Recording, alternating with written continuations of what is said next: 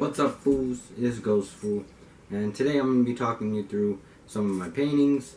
So, one that I finished a while ago that I am very proud of is going to be Candyland. Candyland, I put a lot of work into that. Had endless nights of painting. It was it was something, but I really like how Candyland came out. So some of the things that I liked about doing Candyland was when I was concepting, like conceptualizing the piece, I just had as much freedom as I could do. And if I wanted this or that, I would just put it in. I, like, revised the sketch for Candyland. I want to say at least four or five times of different sketches and stuff. And yeah, it was just very. I had pages written on what I wanted Candyland to look like with all the Pancake Hill or Pancake Valley, sorry, Cake Slice Hill. I had a whole story written out for this canvas, so I feel like getting it done is a big accomplishment for me. Another thing that I really liked about this was that since it was a 24 by 36 canvas, I had so much space to put in extra detail or anything I wanted. Like if I have space in the corner, maybe I could put in another gingerbread house, maybe put in a couple more candies, you know? It to be very bright and eye-catching as well. So I put the bright colors in, the green the sky, the pink clouds, the bright yellow lemon in the sky as the sun. I feel like I wanted to make it very bright and eye-catching for children and adults because I feel like in adult life, especially modern society, we lack a lot of color. Everything's gray and black and white. Everything's in monotone monotone colors. We don't have much color anymore, so feel like slapping a lot of that color in there was a good idea. Some of the dislikes that I had for this painting was just the sheer size of it. Number one, it took me uh, over 40 hours to paint, so it was a very big painting that I did, and it took months and months. 40 hours wasn't just straight 40 hours, it was built up over days of work. I would be going to work and then coming back and working on Candyland at night and then going back to sleep and then going to work the next day. So it took a lot out of me. But I feel like since I had like the deadline in mind and stuff and I was going to submit this, I wanted to get it done quick. That was also like a constraint for me that I wanted to get it done quick. I wanted to get it done. So I feel like I left out on quite a few of the things I wanted to do. In the original concept, I was going to do a lot more of animals, like gummy bear pigs and well, gummy bears and stuff like that. But I never got to do that in the final product.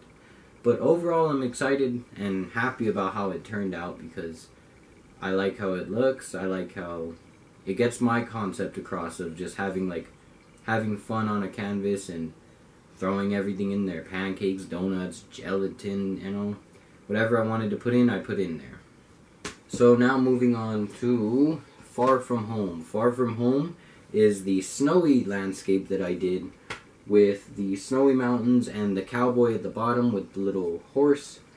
I feel like this one, I didn't spend as much time as the, what was it called, Candyland landscape but I did spend still a lot of time. I want to say at least 25 to 30 hours on the Far From Home piece. I worked a lot on the mountains. I started, I worked in so many layers for the mountains. I started them all black and then I layered them on. And as I added more and more layers, they just slowly took shape and started to look really good.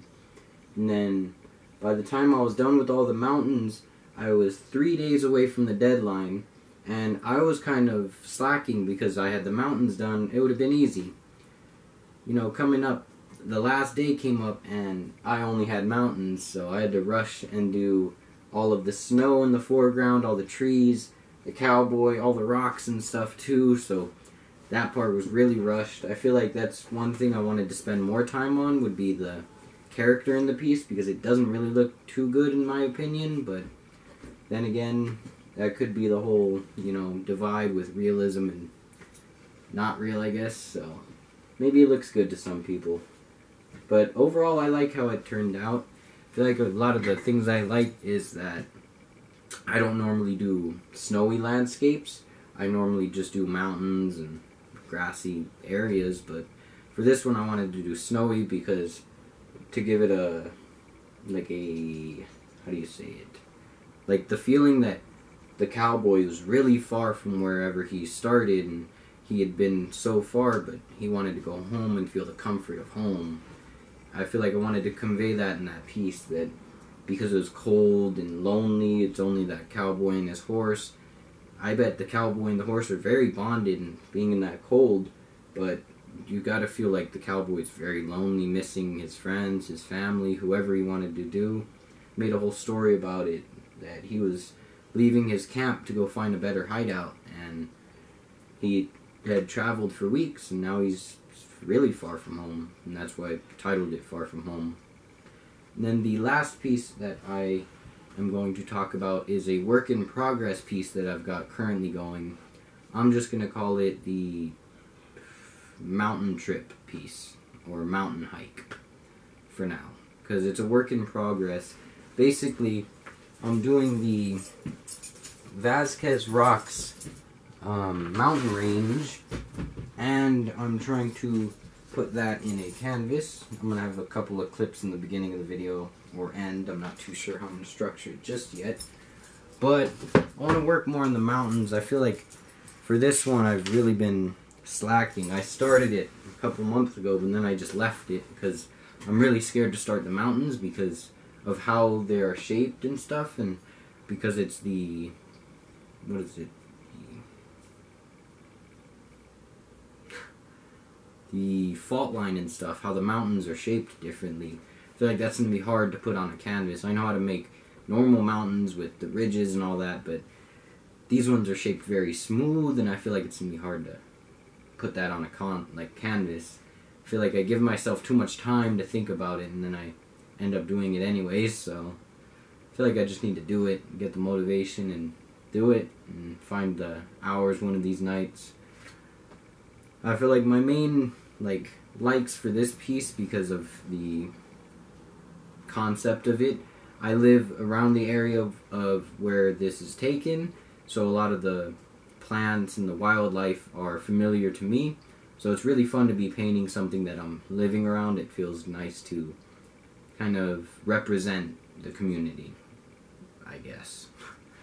Um, another thing that I like about this painting is that I have a really good memory behind this canvas. Me, my girlfriend, and my sister, we went on a nice hike, and it was a very enjoyable hike. We remember just looking at the mountains and the mountains were so massive and we're standing there so little. It's just, it's a very nice memory that I have that I'm going to be putting into this painting because I went. So this is based off a picture that I took from where we went. Another thing that I like with this one is because of the mountains and stuff, I'm going to be learning new techniques to be doing the mountains and doing the painting, painting brush instead of like trees and stuff like evergreens and ferns. I'm going to be doing Joshua trees and junipers. So I feel like that's a little bit different, but I like that I'm challenging myself so I could have that available availability to do it in my next paintings or, you know, so on. So back going to Candyland, I wanted to get the basic vibe and emotion of childhood, feeling good, feeling happy, feeling joy, and not really having a care. Like you see with that Candyland, it doesn't really make sense, but who cares? It's not supposed to. Feel like want to have the world, you know, be a little less serious and accept it for what it is. It's a Candyland. I named it Candyland with a chance of toothache for crying out loud. So, whatever, you know. Wanted to mess around on a big canvas and just get a lot of ideas out and kind of test my creative ability too. So with that one, if it looks a little bit clustered and how do you say it, crowded, that's why. For the Far From Home one, I wanted to convey more of a snowy, cold environment with a lonely aspect where it feels like you're really far from everyone. And I feel like I nailed that pretty good because looking at it, you feel like he's cold in the middle of nowhere. He doesn't know how to get home. And I feel like that one came across very good. And I wanted to also put in this like for this one because of the mountains and stuff and how I layered them. I wanted to show how big the world actually is. Because one of my favorite things is just driving because you can go driving and you just go driving for hours in one direction and it just keeps going unless you hit the ocean or you know a lake or something. But the world is so massive and I wanted to kind of put that in this painting. Um let me see also have some notes written here in case I forget so I'm not really that professional so I gotta keep stuff written down because I'm very forgetful. Sorry if that's unprofessional but gotta do it to remain professional. So the final thing for the Arthur the Far From Home painting was that I wanted to basically, because of our cowboy here traveling so far from home, say he's a cowboy in a Western society, he goes all the way to the snow and the mountains, and just with his horse for an adventure. I feel like I want to push the message of rejecting modern society and you know getting a job, getting a house, and just you know exploring the world, traveling, getting to know everything, you know. I'm not saying that you shouldn't have a job. Everyone needs a job. Everyone needs to make money. Everyone needs to do something, but I feel like exploring the world is the main part of human the human experience when we're on this world. We're on this world to explore and to experience it, so why not experience it? I kind of rambled on for a little bit, but that's probably going to wrap up this video. Not too sure how long it is. I'm going to be trying to get back into filming more videos because a big thing just happened in my life. My dad, he just passed away, so there's a lot going on with that. And so I didn't really want to film any videos for a long time because I'm very depressed about everything that's happening. But hey, you never know. Maybe making some of these YouTube videos get my mind off of it, you know. And especially painting, I feel like I'm putting more time to my social media and putting more time to my painting. So let's see how this goes. And I will see you guys in the next video. Peace and love. Um, let's see. Start a conversation in the comments. What is your favorite color and why? Why do you like that color and everything? So I will see you guys in the next video. Peace out.